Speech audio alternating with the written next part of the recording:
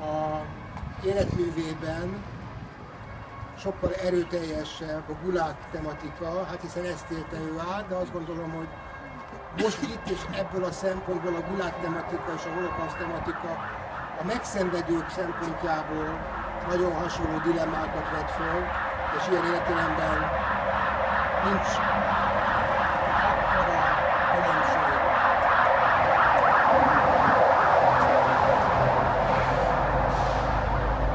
Ez az írás eldönthetetlen, hogy melyik tematikához tartozik, így ar- arra vetemettem, hogy akkor mai, mai nap felolvasom. Az a címe, hogy az otthon.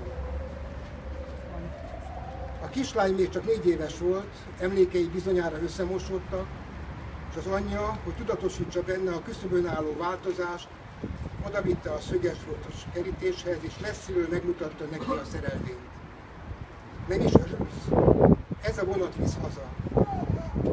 És akkor mi lesz? Akkor otthon leszünk.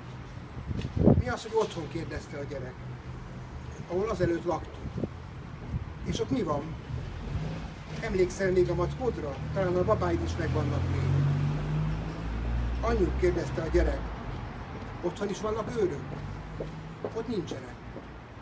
Akkor kérdezte a kislány, onnan meg is lehet majd szökni.